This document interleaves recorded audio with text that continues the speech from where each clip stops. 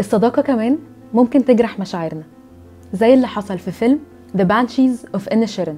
الفيلم اللي أخد ثلاث جوائز جولدن جلوب ومترشح لتسع جوائز أوسكار الفيلم بيتكلم عن اتنين صحاب على جزيرة إنشيرن الخيالية اللي بيقرر واحد فيهم إن يقطع علاقته بالتاني.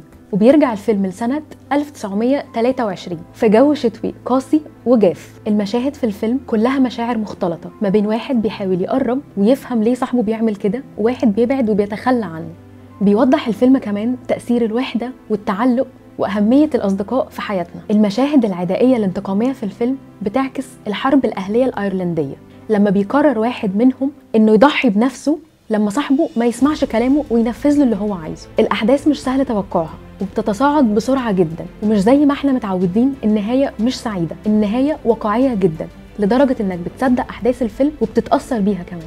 الحوار قاسي جدا وصعب وصعب إنك تسمعه بس وإنت بتسمعه مش هتبطل ضحك ودي الحاجة اللي مشهور بيها مخرج الفيلم مارتن ماكدونا ال black tragic comedy الفيلم من تمثيل كولين فارل اللي طالع بدور شخصية بسيطة وبتحب الروتين.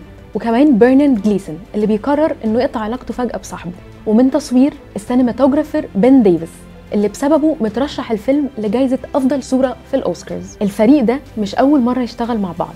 اشتغلوا قبل كده في فيلم In Bruges في 2008 اللي نجح جدا. اسم الفيلم مش صدفة. The Banshee معناها في الفلكلور الايرلندي الفال الوحش أو اقتراب الموت وده بنشوفه في الفيلم في صورة ست عجوزة بتظهر مرتين. من وجهة نظري الفيلم قوي جدا. وقصة جديدة علينا. وربط الأحداث الأيرلندية والحرب الأهلية بأفكار عبثية يومية دي حاجة جديدة علينا. ولو في رسالة الفيلم وصلها لي فهي إن التغيير المفاجئ بدون أسباب مؤذي جدا على الإنسان والقسوة بتخلينا نتغير جدا حتى مع أقرب الناس لينا وإن في حاجات ممكن تحصل لنا بعدها مستحيل نرجع زي الأول. قولوا لي إيه رأيكم في الفيلم وإيه الرسائل اللي وصلت لكم؟ أنا إلهام الرويني وده افون تاتر